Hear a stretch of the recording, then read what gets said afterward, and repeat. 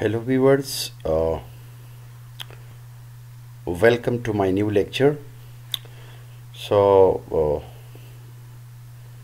very glad to see you, to see your uh, messages and your comments.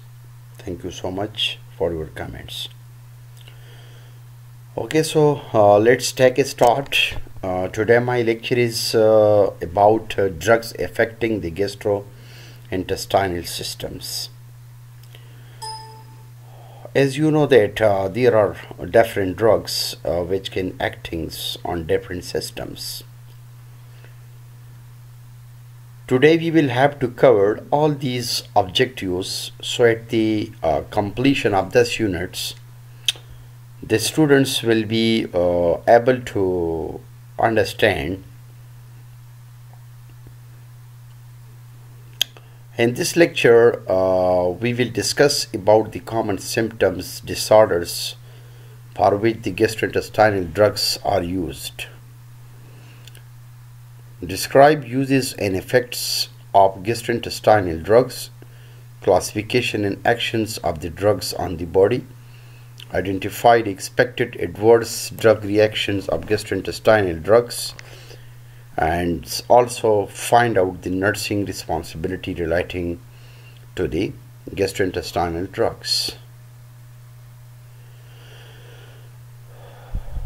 Okay, so uh, first of all, uh, I would like to introduce about the GIT gastrointestinal system. So what is GI system?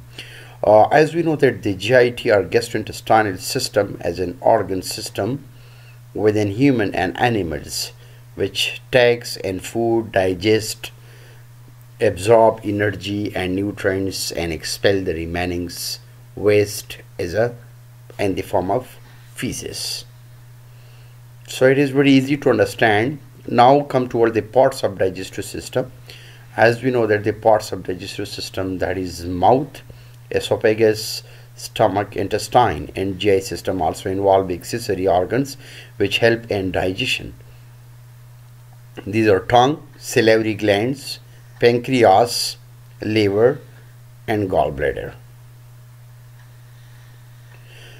So you can see here uh, the physiology of gastrointestinal system. So you can see here in the uh, diagram. So this is uh, it has uh, means it is started from the oral cavity so this is pharynx and then uh, salivary glands contain parotid sublingual submandibular and then esophagus then stomach and you can see here liver gallbladder pancreas pancreatic duct and then common bile duct and then small intestine then parts of the small intestine that is duodenum jejunum ileum uh, then uh, colons so colon is further divided into uh, three. So that is transverse colon ascending colon descending colon. Uh, cecums appendix rectum and anus. So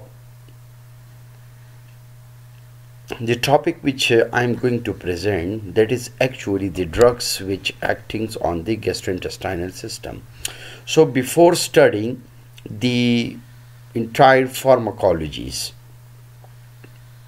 So you should know about the basic physiology of the gastrointestinal system that what are the different parts of the gastrointestinal system and how these drugs can act things.